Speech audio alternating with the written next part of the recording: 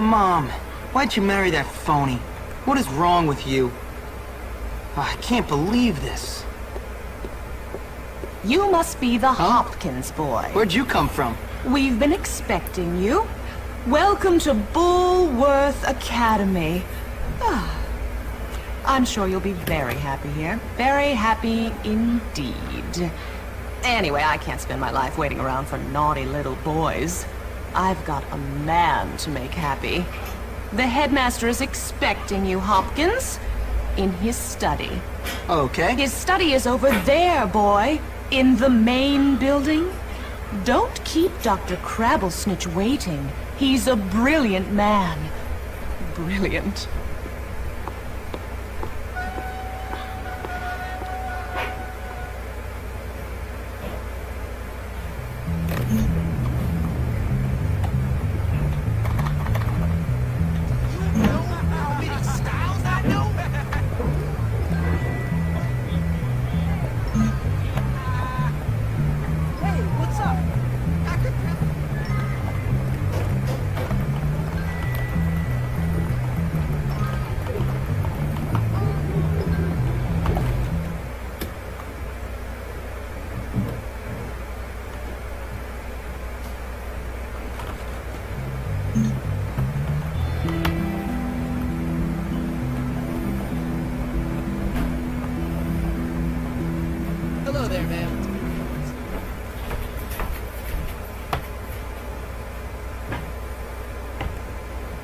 Ah, yes.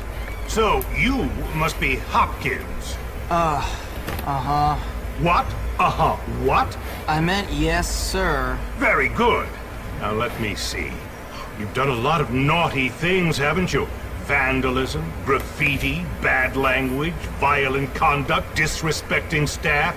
Oh, I'm scared of you, Hopkins. Come on, give me a break. Yes, I've never met a boy like you. Never in all my life. Hopkins, you're quite the nastiest little boy I have ever encountered. Tell me, why should I waste my time on you? I don't know. Because it's my calling. It's what I do.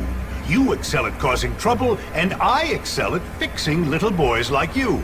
At making you into respectable members of our community here at the Academy. I've got a good feeling about you, boy. A feeling you and I are going to be great friends. You keep that nose clean, boy, or I shall clean it myself. Miss Danvers, are you back yet? Yes, headmaster. And I got your tea. You are good to me, Miss Danvers. No more than you deserve, headmaster. Take our new friend Hopkins here and show him around the school and get him properly attired. Certainly, headmaster. Come along, boy. I haven't got all day. And boy, remember, you will have a clean nose. So keep it clean, or we'll clean it for you.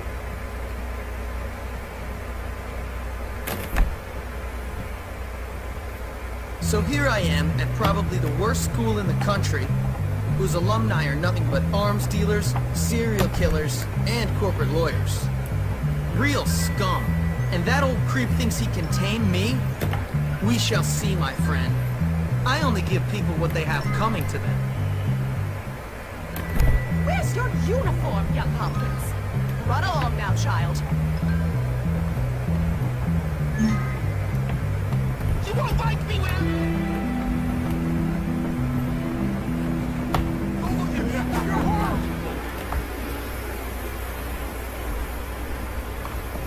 Stick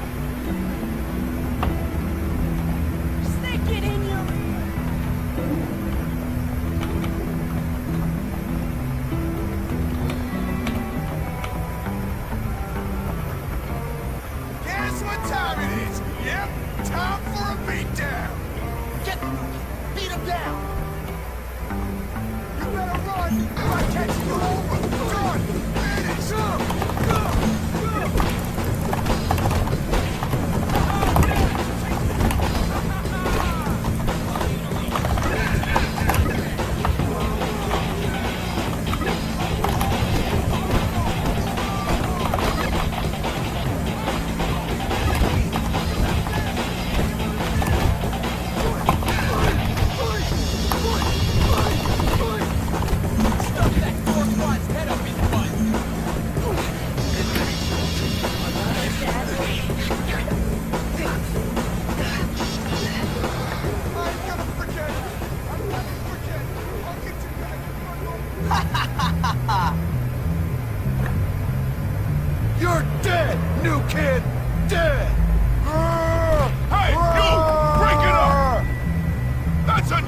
Enough of that! Break it up! Why are you not in your uniform, young man? Go change immediately! Oh, come on.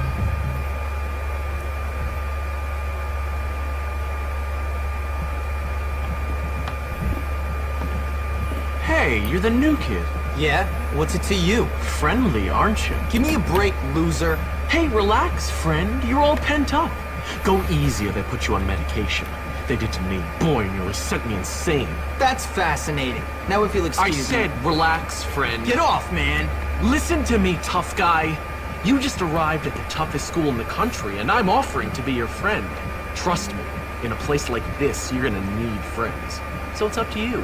You gonna play nice or what? Yeah, sure. Good. So how about I show you around? We don't have a bar in the just a soda.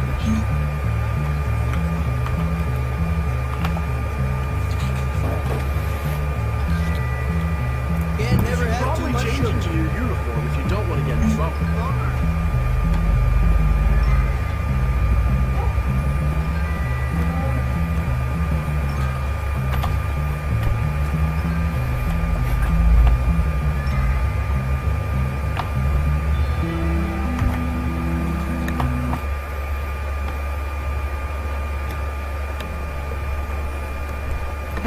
How you doing? You must be the new kid. I'm Pete. Pete Kowalski. Jimmy Hopkins, and don't ask how I'm doing. I've been here five minutes, and already people want me dead. Even my parents didn't hate me this quickly. Well, welcome to Bullworth. It's a dump. Great, I've been expelled from anywhere halfway decent. Yeah, I've been expelled from anywhere halfway decent because I'm really bad.